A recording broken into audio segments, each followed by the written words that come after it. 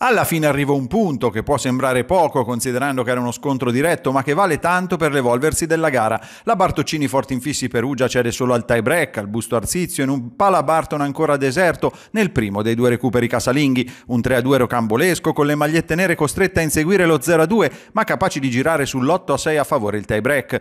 Poi una Mingardi incontenibile trascina le Lombardi a vincere 15-12 e pensare che le perugine erano partite forte guidando il primo set fino al 23 pari condotte da una Velkova ispirata, 24 punti alla fine per lei, e un Ortolani sempre al top. A corrente alterna invece la di Giulio che usciva nel finale di set e Busto Arsizio trovava il guizzo per il 25-23. Secondo parziale con lo stesso punteggio ma andamento diverso, con la squadra di Fenoglio sempre avanti e Perugia che sfiorava la clamorosa rimonta dal 24-17 al 24-23 per poi cedere su un punto di seconda. Terzo parziale all'insegna del riscatto con la Bartoccini che vinceva facile 25-17 e agguantava Faceva poi il pari con brivido nel quarto parziale facendosi rimontare dal 24-17 al 24-23, ma era ancora Velkova a portare il match al quinto.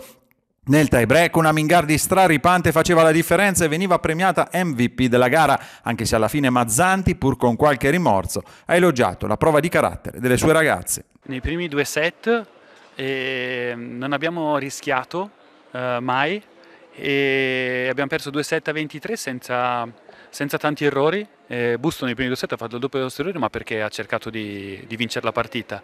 E, e questa cosa mh, l'abbiamo capita troppo tardi oggi. E quindi il tie break secondo me ci sta eh, di perdere un tie break a 12 e, mh, invece nei primi due set secondo me potevamo fare eh, qualcosa di più e mh, quindi il rammarico di oggi sono quei due set giocati senza rischio, senza, senza troppo coraggio. Oggi abbiamo faticato di più, ma perché secondo me quando fai fatica in attacco poi eh, è difficile stare dentro la partita. Eh, quindi il nostro, eh, il nostro, obiettivo è migliorare sicuramente il nostro attacco e abbiamo tanto margine e stiamo facendo ancora eh, tanta fatica e, e, e quindi il, il nostro obiettivo è migliorare questo aspetto.